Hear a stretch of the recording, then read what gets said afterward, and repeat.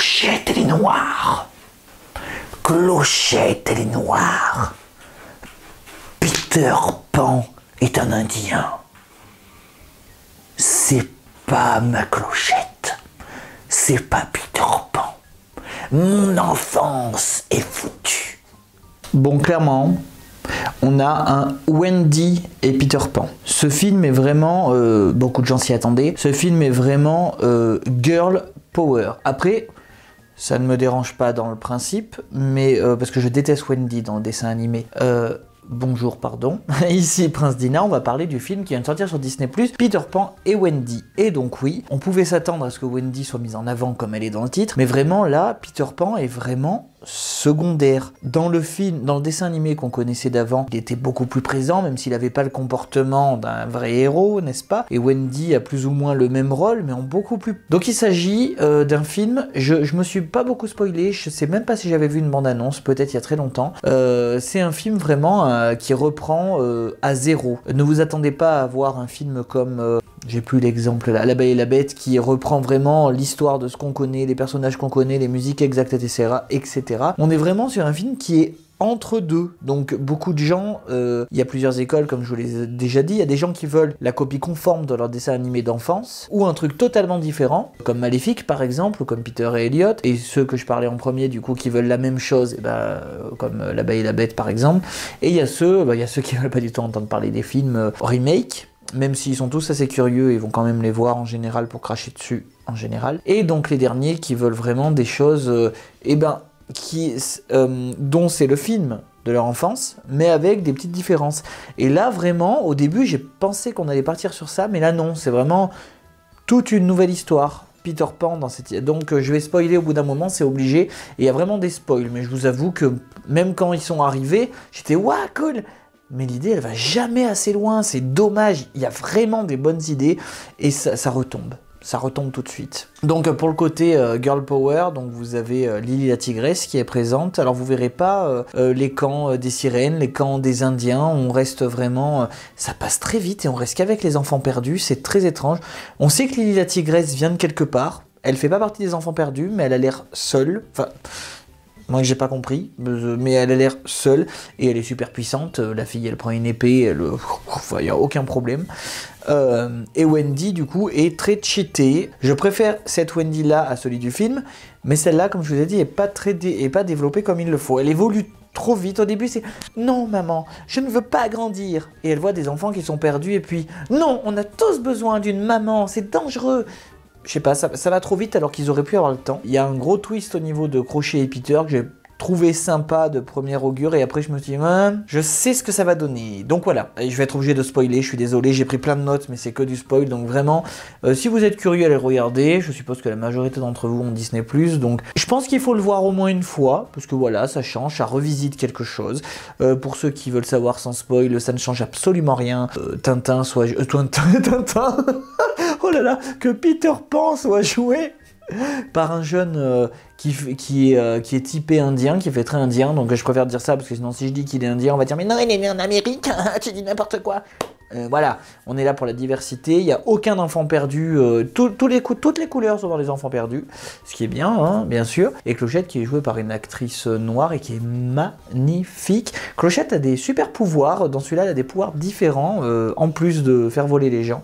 Mais voilà, il y a des petits twists, des petites choses qui peuvent être intéressantes, il y a des scènes qui auraient pu être sympas d'être vues au cinéma, en fait. Vraiment, il y a des trucs, je dis, ah, c'est dommage. Mais non, franchement, c'est pas un film qui aurait mérité le cinéma. Et je sais pas trop comment Disney le calcule, sûrement par rapport au budget. Parce que, euh, vraiment, ouais, au cinéma, j'aurais été déçu. Hein. Alors que Dumbo est passé au cinéma, hein, je crois, ouais. Et vraiment, bah, ouais, lui m'avait déçu. Donc voilà, on va partir en section spoil tout de suite. Et euh, du coup, je vais vous dire plein de petites choses un peu dans le désordre, des choses que j'ai notées. Donc voilà, la première chose donc à spoiler, qui est très importante, c'est vraiment cette fois, Peter Pan et Crochet ont un passif. Vraiment, ils étaient amis. Et du coup, je dis, ah, c'est intéressant, ça apporte vraiment le pourquoi, parce que dans le dessin animé, on n'en sait rien. Je suis désolé, je sais qu'il faudrait pas le comparer au dessin animé, mais on est obligé, si, parce que parce que tout le monde va le faire de toute façon. Donc voilà, euh, c'est intéressant ce qu'ils en ont fait, mais dès le moment où vous savez qu'ils ont été amis, vous savez que ça va bien se finir. c'est obligé, c'est obligé. Vous savez que voilà, ils avaient été amis, donc tout va bien se terminer. Euh, depuis un moment, euh, comme le disait Oncle Buck, tous les méchants, ils essayent de trouver un moyen de pourquoi ils sont méchants. Il n'y a plus de méchants qui aiment être méchants. Non, là, c'est je veux me venger.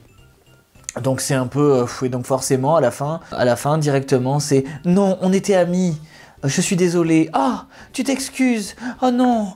D'accord, je suis gentil. Ah, mais quoi? Enfin, non Non C'est dommage, il y avait tellement de trucs. Enfin, donc revenons au personnage principal, parce que je suis désolé, c'est Wendy, qui, euh, voilà, qui est tout de suite très cheaté, que tout le monde adore euh, tout de suite. Bon, ça c'est assez normal. Qui rappelle, du coup, accroché, qu'il a été un enfant un jour, il s'en rappelait pas trop, il se souvenait plus de sa mère, ce qui est étrange alors que c'est c'est pourquoi il, en a voulu à Peter autant d'années, donc c'est bizarre, il avait plus ou moins oublié le pourquoi. Bref, et donc du coup, cette Wendy, vraiment, elle attrape une épée, elle sait se battre.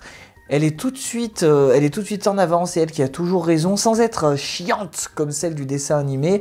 À la fin, elle se sauve toute seule, elle n'a pas besoin de Peter. Par contre, c'est bizarre. Wendy, quand on lui dit d'avoir une bonne pensée, elle s'imagine en train de vieillir et de mourir. Pour elle, une belle pensée dans la vie, c'est de vieillir. Donc, on est d'accord que la grande morale de Peter Pan, c'est du style, il faut pas euh, vouloir rester enfermé dans l'enfance parce que la vie est une aventure. On le savait déjà, ça c'était du déjà vu. Et, euh, voilà, donc du coup, c'est vrai que là-dessus, le personnage a une évolution qui est étrange. Euh, vraiment, c'est après elle voit des enfants perdus, bah d'accord, bah ils sont perdus, mais personne va prendre soin d'eux, bah oui. Donc du coup, voilà, en, se projetant comme étant une maman, alors qu'elle dit, hein, attention, girl power, euh, les femmes ne sont pas obligées d'avoir des enfants, elle le dit bien, elle sait pas si elle va avoir des enfants, elle sait pas si elle va avoir des enfants plus tard. Donc c'est intéressant aussi, hein, bien sûr, de montrer qu'on n'est pas obligé d'en avoir forcément, que c'est pas forcément le sens de la vie. La maman de Wendy est juste géniale, on la voit très peu, mais je sais pas, elle a vraiment ce regard de maman qui aime ses enfants, elle m'a beaucoup touché. Qui chante une chanson qui revient d'ailleurs, une berceuse, pour dire, il n'y a aucune musique, mais il n'y a aucune musique de nouvelle musique intéressante. Il y a la chanson, c'est juste une berceuse, et après il y a des pirates qui chantent, mais les chansons des pirates, c'est à cause de la VF sûrement, mais les rimes sont nulles. Ça se contredit, du style mon ami, tu vas mourir. Ben non, c'est pas ton ami, c'est ton ennemi. Enfin, et des rimes nulles, mais nulles, ça m'a, ça m'a énervé. Jean et Michel ne servent à rien. Mais quand je vous dis à rien, c'est juste pour que Wendy ait envie de défendre son frère, ses deux frères, plutôt que les enfants perdus qu'elle aurait pu défendre aussi. Enfin, qu'elle défend aussi, mais je veux dire, ça, ça rajoute un intérêt à défendre parce qu'ils ne servent à rien.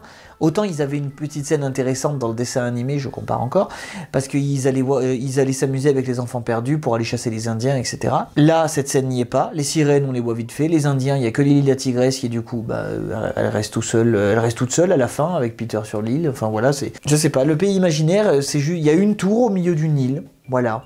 Il n'y a rien de magique, de spécial, à part la magie de Clochette. Vraiment, je, je vois pas qu'est-ce que. En fait, c'est juste une île cachée dans une réalité parallèle. Et on ne sait pas comment est-ce qu'ils y arrivent. Au, tout départ, Crochet et Peter Pan. Mais bon, génial. J'ai adoré le côté où un peu quand ils vont deuxième étoile tout droit jusqu'au matin, le côté où le temps s'arrête, c'est figé, il y a un espèce d'arrêt sur image avec un ralenti. J'ai trouvé que c'était une bonne idée plutôt que juste on vole et puis hop on est au pays imaginaire. Il y a un... ça j'ai bien aimé. Donc attention, à partir de maintenant je vais vous dire tout ce que j'ai noté dans le désordre, j'en suis désolé, je ne suis pas un spécialiste du cinéma, euh, je ne sais pas trop comment organiser mes idées. Dans ce Peter Pan là, du coup, Peter Pan, Wendy, j'ai marqué, est beaucoup moins chiante, elle se comporte assez rapidement bah, comme une mère, malgré le fait qu'au début je ne veux pas grandir. Voilà, le peu de musique qu'on entend, c'est deux couplets très rapides et pas très intéressants. Rocher, vraiment, il est pas. C'est un pirate parmi les autres. Son chapeau, il est pas volumineux, euh, il, est, il est assez petit, il est pas. Je sais pas, au milieu des autres pirates, il a juste une veste rouge mais il y, a, un truc qui manque. Le personnage est pas du tout charismatique. L'acteur est, beau, enfin est beau. Il incarne bien le personnage, mais il n'y a pas des plans de caméra intéressants qui le mettent en avant. C'est dommage, vraiment. Surtout qu'en plus, là, il est vraiment un passé. Euh, un vrai passé, c'est pas juste euh, je veux euh, tuer Peter Pan parce qu'il m'a coupé la main, enfin parce qu'on s'est battu une fois, quoi. C'est pas. Mouche n'est pas drôle. On apprend que c'est Mouche qui a plus ou moins élevé euh, le capitaine Crochet, du coup, ce qui est intéressant mais sans plus. J'ai marqué qu'il y avait, il y a pas du tout d'humour, ce qui est très étrange. Il y a peut-être un moment d'humour, c'est le moment ah ça a pas fait plouf. Voilà, et encore, est-ce qu'on peut dire que c'est... Donc Lily la tigresse, forcément, était réduite à la demoiselle en détresse dans le, dessin animé. Là, non, c'est vraiment un des personnages qui sait se battre. Elle sait se battre, elle sait monter à cheval, elle est, elle est très belle, l'actrice qui l'a fait, elle est très belle. D'ailleurs, l'acteur qui joue Peter Pan et l'actrice de Lily la tigresse sont très très beaux tous les deux, ils ont bien été choisis là-dessus. Wendy est assez classique ce qui est pas mal non plus, hein, de, de mettre des, des, acteurs assez classiques, comme Cendrillon par exemple, l'actrice de Cendrillon, je la trouvais très banale, pas moche, hein, mais d'une beauté euh, simple, comme ils avaient choisi l'actrice qui fait Aurore dans, euh, Maléfique par exemple, j'ai jamais trouvé... Euh, magnifique. Parce que l'ancienne Lilia Tigresse, voilà, dans le camp, Lilia Tigresse et le camp des Indiens, bah ça faisait, maintenant ça serait très mal vu, parce que pourquoi sa peau est rouge, pourquoi c'est, c'est un peu, voilà, je, sais que ça n'a pas été, c'est pas le pire par rapport à certains Fantasia ou d'autres petites choses. Je sais que ça n'avait pas été apprécié, donc ils ont quand même gardé Lilia Tigresse en tant que ça. Le crocodile, comme dans tous les Disney remakes, comme dans le livre de la jungle, le crocodile est énorme, n'a aucun, euh, n'a rien de scénaristiquement euh, euh, drôle. il est juste là, il est énorme, c'est tout.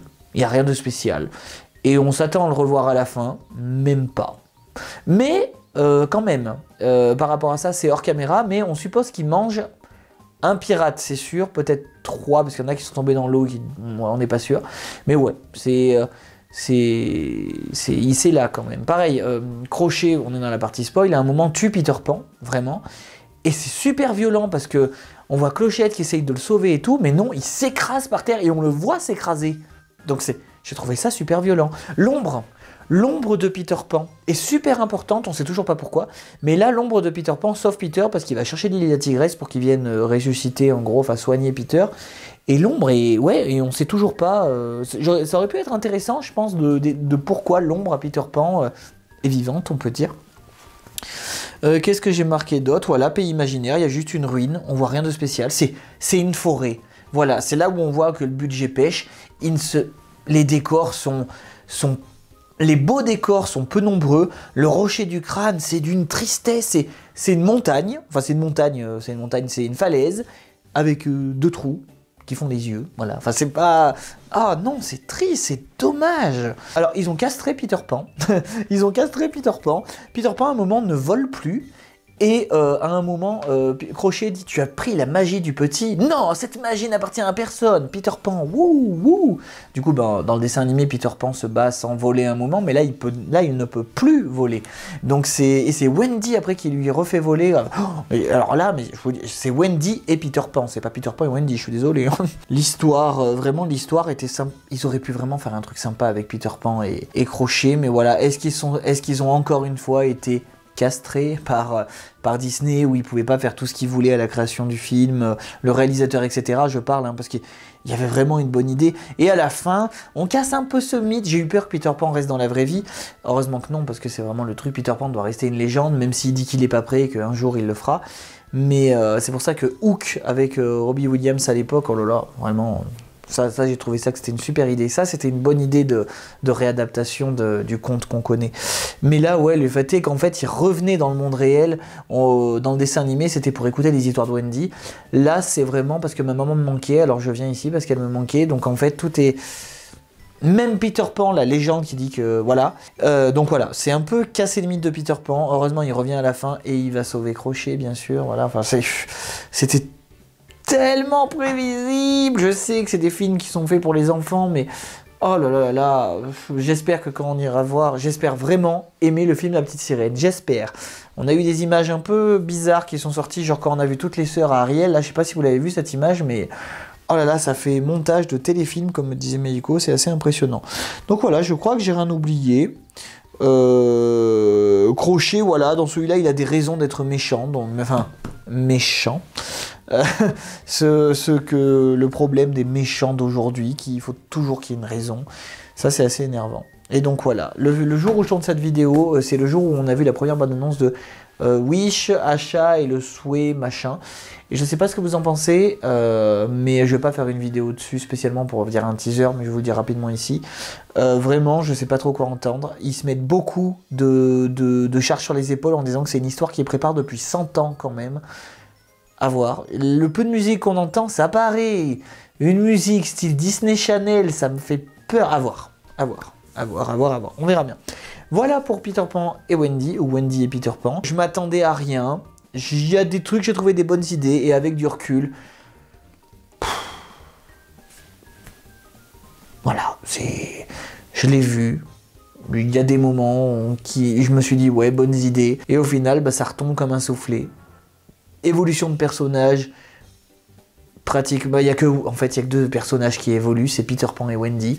Jean et Michel ne servent à rien. Lily la tigresse est juste là pour être badass.